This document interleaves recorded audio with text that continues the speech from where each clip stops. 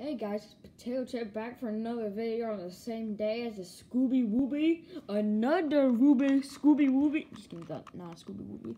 But I am doing another one, and this is this is the two x two. It's basically just the corners of a three x three. You know what? Speaking of, let me just go get my three three.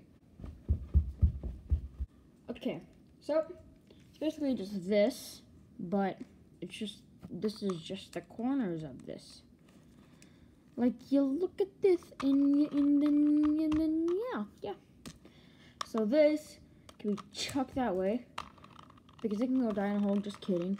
I love it. Just uh, savior. Just kidding. CFOP. Um. Okay. Let me scramble it up. Okay, I have finished scrambling it, and let's solve it.